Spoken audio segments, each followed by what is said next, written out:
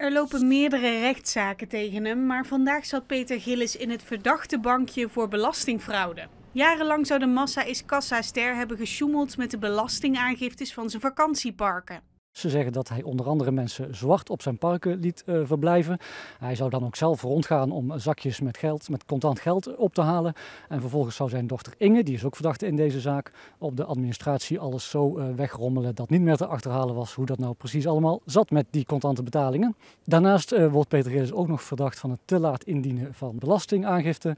En hij zou buitenlandse medewerkers van zijn park, daar zou hij geen loonadministratie van bijhouden. Nee, ik ben helemaal klaar. Echt waar? Een paar Kan Mark Hendricks, advocaat. ik vond het, het, het, reactie van het OM uh, teleurstellend. Is dat er een, een, wat ons betreft een hets is gevoerd tegen de heer Gillis en, uh, en de Oostappengroep. Dat uit de stukken blijkt dat ze van begin af aan uit waren op een strafblad.